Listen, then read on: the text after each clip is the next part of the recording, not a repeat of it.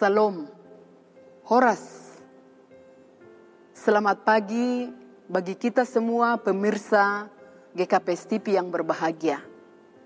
Sebelum kita mendengarkan firman Tuhan pada pagi hari ini, marilah kita bersatu di dalam doa.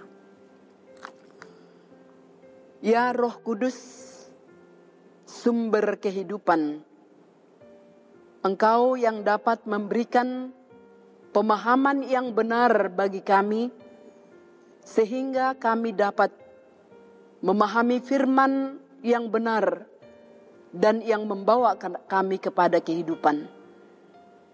Engkaulah yang bertahta di tengah-tengah kami, di dalam anakmu Yesus Kristus. Amin. Bapak, Ibu, dan Saudara yang terkasih, firman Tuhan yang menjadi renungan bagi kita, saya ambil dari kitab Injil Matius pasal 11 ayatnya yang ke-28 hingga ayatnya yang ke-29. Demikian firman Tuhan. Marilah kepadaku semua yang letih lesu dan berbeban berat. Aku akan memberikan kelegaan padamu. Pikullah kuk yang kupasang dan belajarlah padaku karena aku lemah lembut dan rendah hati, dan jiwamu akan mendapat ketenangan. Demikian firman Tuhan. Saudara-saudara yang terkasih dalam nama Yesus, Yesus mengundang kita untuk datang kepadanya. Ini adalah suatu undangan anugerah atau panggilan yang sangat lembut dan panggilan ini bukan hanya kepada murid-muridnya, tetapi kepada semua orang atau setiap orang yang merasa penat dan tak berdaya di dalam menjalani kehidupan ini. Dan juga kepada setiap orang yang tergerus oleh rutinitas dan tuntutan hukum keagamaan seperti yang dialami oleh umat Israel. Di sini Yesus berkata, "Marilah kepadaku semua yang letih lesu, aku akan memberikan kelegaan padamu." Tentu ketenangan jiwa adalah ketenangan yang paling diinginkan. Semua manusia ingin jiwanya diam, tentram, dan damai. Dan semua menginginkan kelegaan. Tentu saudara-saudara yang dikasihi Tuhan Yesus, undangan atau tawaran ini adalah sesuatu yang sangat menggembirakan bagi kita. Secara khusus dalam keadaan kita sekarang ini yang begitu banyak hal yang menimbulkan rasa kekhawatiran dan kecemasan oleh COVID-19 ini. Keadaan dunia sering berubah secara cepat dan tidak terprediksi. Masalah bisa saja datang dengan tiba-tiba.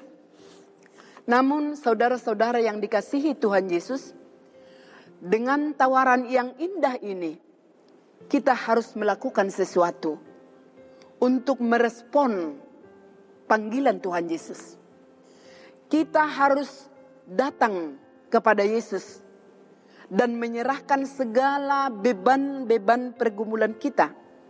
Seperti yang dikatakan oleh Rasul Petrus, serahkanlah segala kekhawatiranmu kepada Tuhan, sebab ia yang memelihara kamu.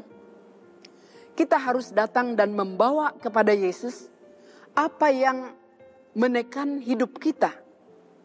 Seperti contoh, seorang anak yang hilang dan setelah lama kemudian, dia melihat kehidupannya yang menyedihkan. Dia sadar bahwa dia sudah jauh dari Tuhan. Tetapi dengan menyesal dan dia kembali datang kepada Yesus. Dan Yesus memberikan kelegaan kepadanya.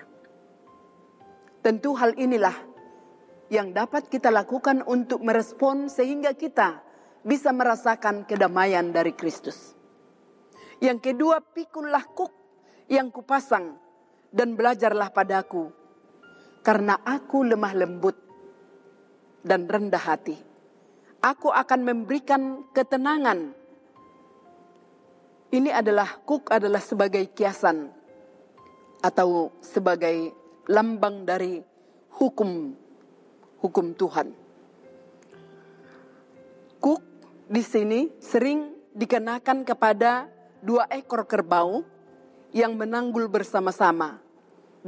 Dan hal ini Yesus mengambil itu sebagai ungkapan bahwa beban manusia itu dipikul bersama-sama antara kita dengan Yesus. Karena kuk yang dipasangkan kepada kita adalah hukum kasih sehingga kasih menjadi cerminan hidup umat percaya kepada Tuhan Yesus. Jadi Tuhan Yesus memberikan hukum yang baru, kuk yang baru, kuk yang lembut yang harus kita pikul. Dan itu yang menjadikan umatnya setia dan dikendalikan oleh Tuhan. Tuhan Yesus turut bersama-sama kita memikul segala kuk dan beban yang ada di dalam kehidupan kita, sehingga kita penuh damai dan kelegaan. Terpujilah Tuhan. Amin. Kita berdoa. Sungguh luar biasa kasihmu kepada kami, ya Yesus Kristus Tuhan kami.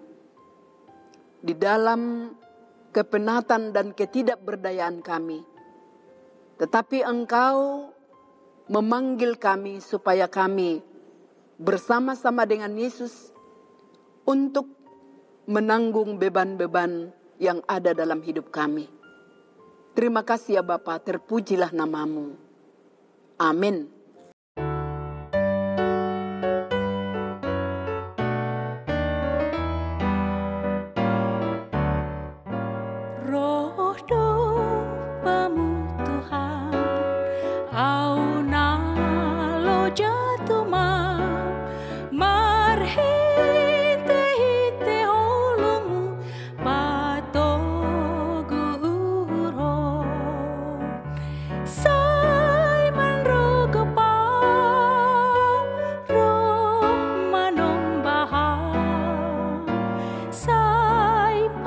sing out.